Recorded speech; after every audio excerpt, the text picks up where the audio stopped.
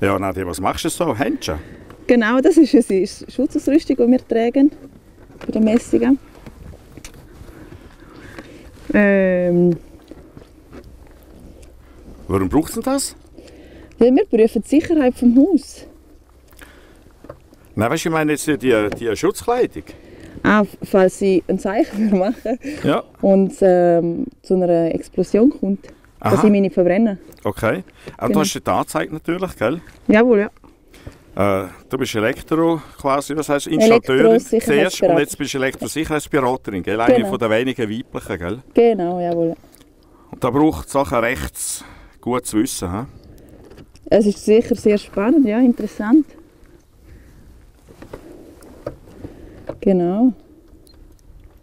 Unglaublich, ja. Hast du mehr zugeschaut, schon mehr fasziniert gewesen. Eben, ich hatte einen Schwiegervater, gehabt, der Starkstromkontrolleur war. Äh, Das war damals in der ganzen Schweiz, glaube ich, der erste Mal, gewesen, hat man damals gesagt. Und das ist relativ gefährlich, gell? Nachdem musst schon aufpassen. Man muss konzentriert sein, ja, das Ja. ist so. Ja. Also lenke ich die jetzt so richtig ab. Du lenkst mich komplett ab, ja. Oi. Und dann musst du noch Notizen machen und so weiter. Ich Und schreibe mir alles auf, genau. genau. und wenn dann du gehst, sollte es dann eigentlich ja stimmen, oder? Nimm ja. Also, Äh, nein, wenn es nicht stimmt, mache ich einen Mängelbericht. genau. Genau. Aber äh, du bist dann auch wie, wie verantwortlich, oder? Ja, man hat eine Verantwortung. Das ist es so, ja. Das ist jetzt äh, natürlich äh, relativ ein neues Haus. Das ist jetzt wahrscheinlich nicht so ein grosses Problem, vermute ich, oder? Ich denke es auch nicht, nein. Ich denke, uns erwartet da jetzt nicht ein, einen grossen Mängelbericht, den ich da werden müssen machen Im besten Fall ja keinen, dann wäre alles immer gut gemacht worden, gell? Was mich sehr erstaunt ist, dass das da draußen ist. Das, das erstaunt mich. Ist das äh, äh, bei neuen Häusern nicht mal, dass es draußen ist? Weißt du, nicht mehr im Haus drin? Der Zähler, Ja. heute macht man den von aussen, ja. Ja, okay. Nur noch bei alten Häusern ist er amigs dahin. Ja. Genau. Und bei den Autohäusern musst du denke so immer F einschauen, ob es so etwas drin hat, oder? Nein, also Pflicht ist es ja vor allem bei den neuen Häusern eigentlich. Äh, heute muss man es ja überall machen. Ja. Und ähm, das ist ja nicht, eins ums andere ist ja nicht dazugekommen. Ja. Ähm, angefangen hat es mit dem Badzimmer und Verrussen. Dort hat man, äh, früher hast du ja gerne keine FI. Also bei alten Häusern hat man gerne keine FI. Aber dort hat man ja Bestandenschutz, gell? Genau. Muss man nicht nach der Norm, die dort mal Gold hat, Mhm. ähm, kontrollieren. Ja, ich selber altes Haus, also man kann es einbauen, macht sicher auch Sinn, oder? Du hast jetzt übrigens Sicherungen rausgenommen, gell, natürlich, um dort äh, die Messungen können zu machen, Genau, oder? ja. Ihr tut tut normalerweise einen Kasten nicht öffnen, oder? Ihr probiert das Fussen dran, also eben so zu messen. Welchen Kasten meinst du? Ja, weißt du, es bei alten Häusern, so zum Beispiel Asbest, äh, Ah, ja, Tableau hat und so darf man weiter. nicht mehr Ja. öffnen, das Ja. ist so, ja. Da darf man halt nichts mehr machen. Ja. Ähm, kommt halt immer darauf an, und Sinn machen würdest du schon zum alles wechseln und auf FI umrüsten, je nachdem musst du aber ähm, die ganzen ähm, Leitungen auch wechseln. Gell? Ja, Das heisst, ähm, wir ist auch mit Kosten, ist auch mit Kosten verbunden. das ist ein Querschnitt. Genau. Ja, das ist einmal noch... Und dann nachher hast du auch schon Reklamationen gehabt, wenn du gesagt hast, du musst das und das machen und dies und jenes, wenn es nicht teuer ist. Also, Stromabschalter ist das grösste Problem für die Leute. also gibt es auch. Ja, da- man hat kein Internet, man hat, hat die Waschmaschine läuft dann halt am Moment nicht. Ja. Ähm, meistens ist ja der Strom, der braucht nicht so lange. Ja, ja. Genau. Gut, jetzt tue ich noch mal schnell messen. Gut. Und wir schauen dir jetzt einfach mal zu. Es ist hochkompliziert. Also ich habe immer gemeint, ich verstehe noch ein bisschen etwas, aber das drückt Kopf vergessen und ist mir schon klar, da muss man sich unglaublich konzentrieren. Und darum schauen wir jetzt einfach mal zu, weil es ja dann wirklich auch ein gewisser Sicherheitsfaktor. Also wenn dann eben die Kontrolleurin da ist, dann muss man dann natürlich auch sich darauf verlassen, dass es Werkzeug stimmt und so. Voraussetzung gell, äh, für deinen Job ist natürlich, dass man zuerst mal Elektroinstallateurin war, oder? Genau, ja.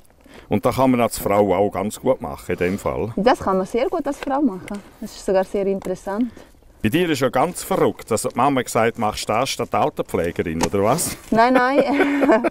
ich hatte noch die Möglichkeit zwischen ähm, Alterspflegerin. Ich, mir ist die Lehrstelle angeboten worden. Ja. Und ähm, das ist schnell das Auto. Mir ist die Lehrstelle angeboten worden und die von, von Mimi Bux da, genau. ja. Und dann bist du mir im Buchs. gewesen. Ja, dann habe ich gefunden, ich mache es selber, ja.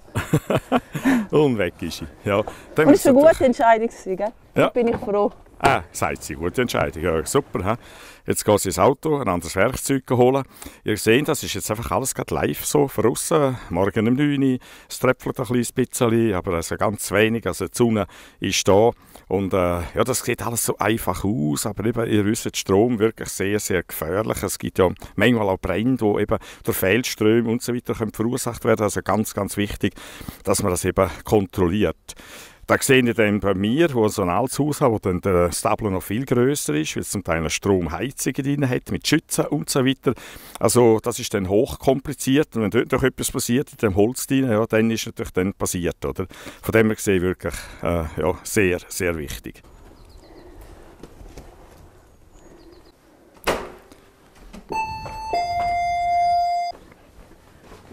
Das ist ein Tableau, da haben wir alle Sicherungen drauf. Genau. Und das, was ist das draussen gewesen? Draussen haben wir einen Aussenzählerkasten. Ja. Und dort haben wir Bezeugersicherungen noch drin. Also sie hat jetzt hier eine Wärmepumpe noch. Und Photovoltaik auch, gell? Photovoltaik hat sie auch noch, aber das geht von hier weg. Ja, Also das ganze Programm, he? ja das ist ein sehr modernes Haus. Das Hopp, hopp, hopp, hopp. Aber das ist ja hochkompliziert, hey, hallo? Findest Ja, finde ich jetzt schon ja. du? Ich finde nicht. Wahnsinn. Ha- Hast du denn da irgendwie so ein Schema? Nein, also im besten Fall ist es nicht so, wie es da ist, dass nicht alles sauber angeschrieben ist Ja. und wir eine Legende da dazu haben. Das ist nicht der beste Fall, ja. Also wenn es alles schön angeschrieben ist, ja. Da kommt dir natürlich äh, das entgegen, dass du vorher auch mal installiert hast, oder? Natürlich. Ja, ja, ja.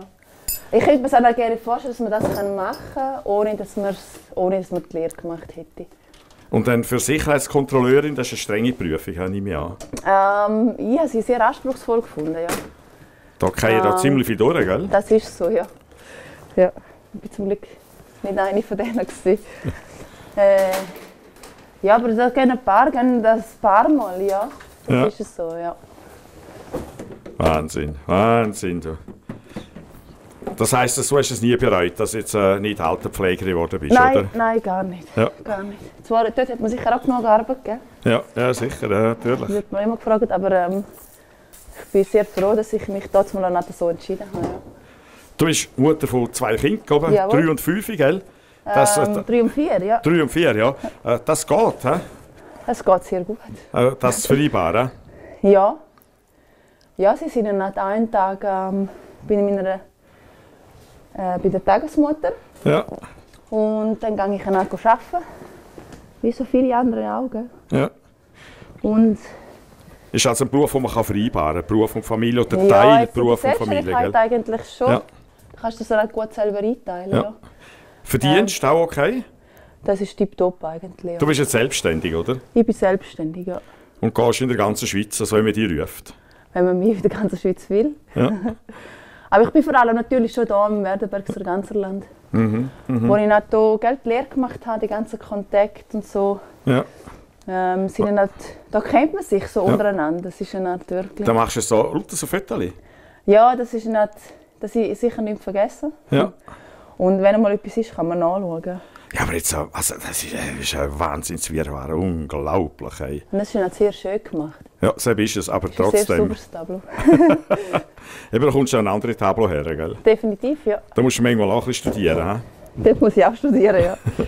Genau. aber Du bist jetzt eine Frau, das heisst, du würdest auch Mädchen empfehlen, so einen Beruf zu machen. Ja, unbedingt. Du bist nicht irgendwie eine spezielle Frau, weißt du, so jetzt, äh, Nein. also mal eine spezielle bist du natürlich schon, das ist klar. normal. Ja, aber einfach, äh, ja, aber, aber eben, da, kann, da können Mädchen, Interesse haben, ein bisschen an der Technik, können das machen. also es ist wirklich, ähm, ähm, ja, man, man- Lehre ist natürlich körperlich arbeiten, aber man sieht auch viel, man lernt auch viel.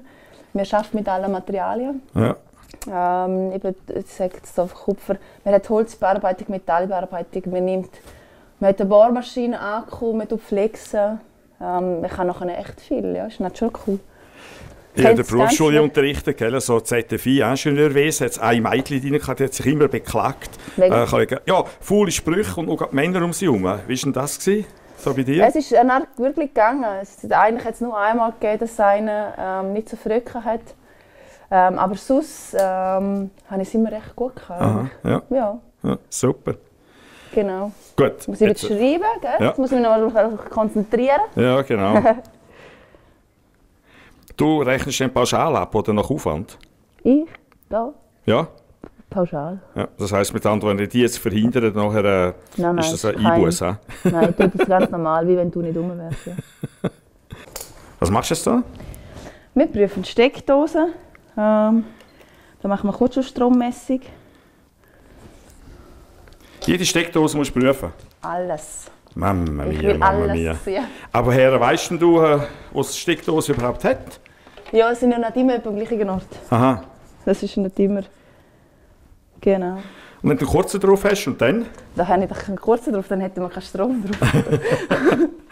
Aber weißt du, wenn jetzt etwas falsch ist, Wenn und was merkst du falsch dann? ist, das Messgerät pfeift. Also zum Beispiel, wenn jetzt ähm, Schutzleiter unter Bruch ist oder so, dann nachher pfeift das Messgerät.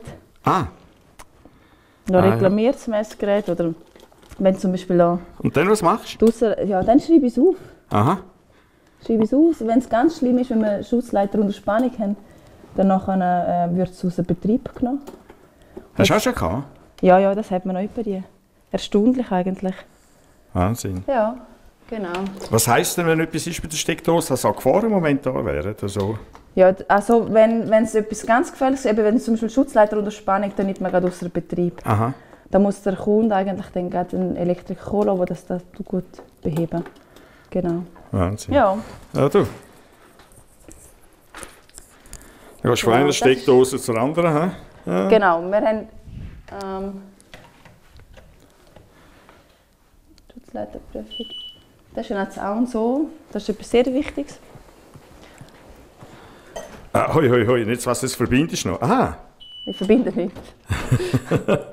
Vor- Warum hast du das Kabel eingesteckt und züchst das nach? Ähm, das ist dann, jetzt noch nicht schauen, ob der Schutzleiter überall verbunden ist miteinander. Wir sind ja vor dem Keller unten gewesen, und haben hier hochgemessen, es ist alles gut. Ja. Und so weiß es nachher alles ähm, gut ist. Genau. Aha. Du merkst schon, gell, saublöde Fragen, du, unglaublich. Ja, es also, ist schwierig, um sich zu konzentrieren, während du da mit mir schwätzt. Normal mit Leuten Ruhe. und dann muss es pfeifen, und wenn es nicht pfeift, ist nicht gut. Wenn es pfeift, ist es ganz gut. Ah, und, und wenn nicht? Dann nachher, ähm, dann ist entweder der Schutzleiter unterbrochen oder der Widerstand ist zu hoch. Was hast du mit dem Kübel unten gemacht? Die Steckdose vom Geschirrspüler. Aha. Ist dort unten. Ja, du. Da kommt dir durch deine Hausfrau sie noch ein bisschen entgegen, gell? Ja, gell? Ich mir immer so Ideen sammeln, was anderes okay? Hey, schau mal da. Ja.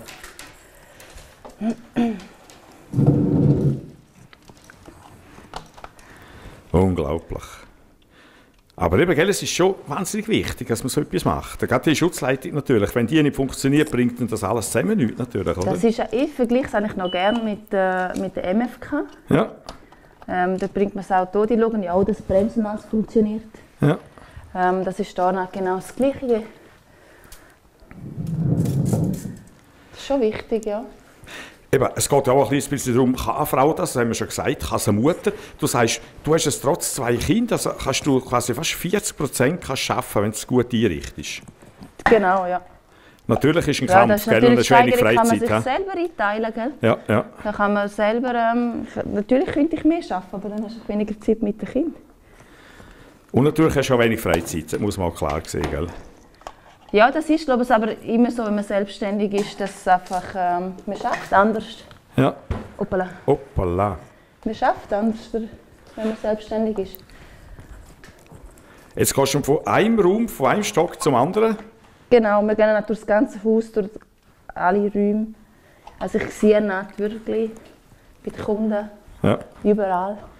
Auf jeden Fall hast du uns einen super Einblick gegeben. Äh, was ist denn so ein bisschen das, was dich am meisten fasziniert in diesem Job? Tagwechsel. Ja. Also mittlerweile jetzt, äh, gerade als Elektrosicherheitsberaterin bist du bei den Kunden, du hast den Kundenkontakt. Ähm, du hast das technische Wissen, das du musst haben Und du hast noch ein bisschen Arbeit hier im Büro. Das ist eine Art, finde ich, eine super Aufteilung. Und ja, das passt mir eigentlich recht gut, ja.